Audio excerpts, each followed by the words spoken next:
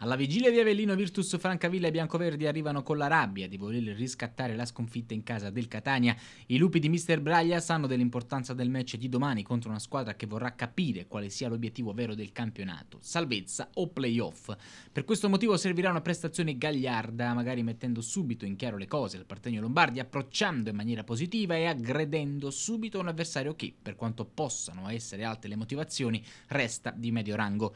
Per il tecnico toscano non ci sono molti dubbi di formazione. Un paio di carte le ha già scoperte ieri in conferenza stampa, come l'utilizzo di Rocchi al posto dello squalificato Luigi Silvestri e Maniero in attacco al fianco di Santaniello più che Fella, perché Braglia ha fatto riferimento a colui che ha giocato meglio a Catania. Se uno più uno fa sempre due, l'ex Picerno dovrebbe essersi meritato la conferma là davanti.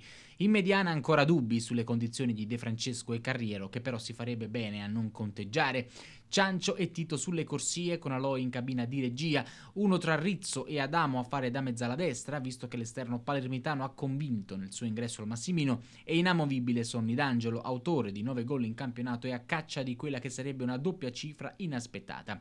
L'appuntamento, come di consueto, per seguire il match è con stadio e studio a partire dalle ore 14.30 per pre, durante e post gara.